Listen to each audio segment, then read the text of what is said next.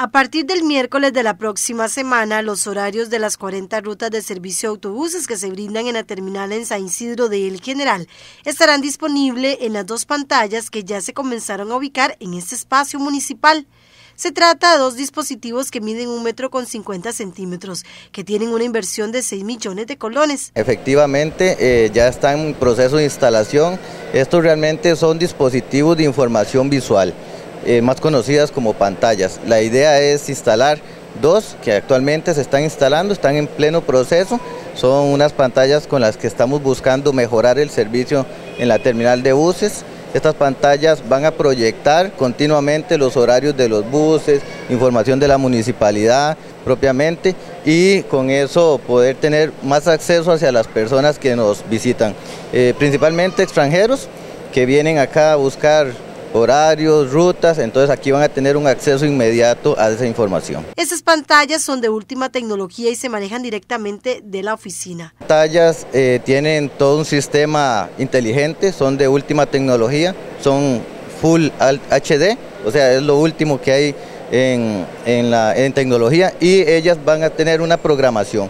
¿Cuál es la idea? Ellas se manejan directamente desde la oficina, se hace un programa con el cual vamos pasando los informes de lo que son los horarios de los buses. Bueno, nosotros manejamos más de 40 rutas de buses, entonces es importante saber que ella continuamente está pasando el programa. Podemos decir que son diapositivas para que se entienda de mejor manera y cuando nos posicionamos acá sobre ella, esperamos un momento y nos va a ir trasladando toda la información de las salidas de los buses. La idea es poder orientarse y que tenga más facilidad de información hacia el usuario. ¿Dónde están ubicadas? Es muy importante el tema de la ubicación de ellas, ¿por qué? Por un tema de accesibilidad. Si bien es cierto, tenemos personas que tienen algún grado de discapacidad, andan en silla de ruedas, entonces normalmente por salud ocupacional tienen que buscarse una forma que tengan acceso directo a una visión. Si las instalamos en otros puntos, normalmente no van a ser tan aprovechadas porque la gente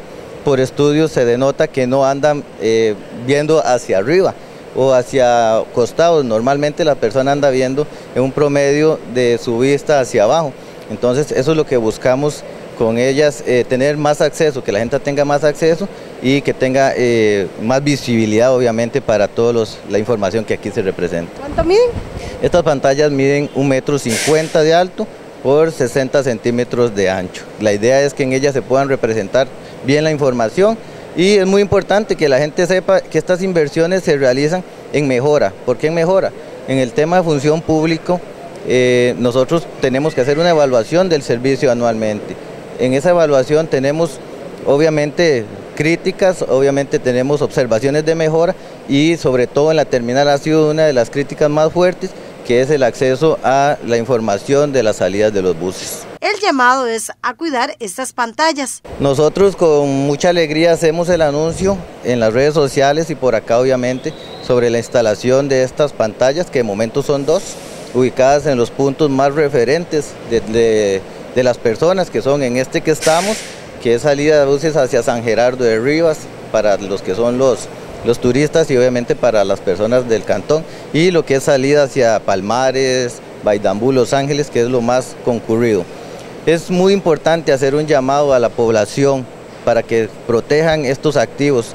Estos son activos de todos, del pueblo, de cada uno de los contribuyentes y es sumamente importante que se dé la cultura de cuidarlas, de evitar tocarlas. Si bien es cierto, ellas traen protección eh, táctil, es muy importante que se evite hacerle daños, obviamente personas malintencionadas que quieren dañarlas y que las cuidemos entre todos. ¿Cuándo ya entrarían en funcionamiento estas pantallas? Estas pantallas se empezaron a instalar el día de ayer, hoy están haciendo pruebas, de hecho que ahorita estamos proyectando lo que son las cámaras de vigilancia que tenemos en la terminal.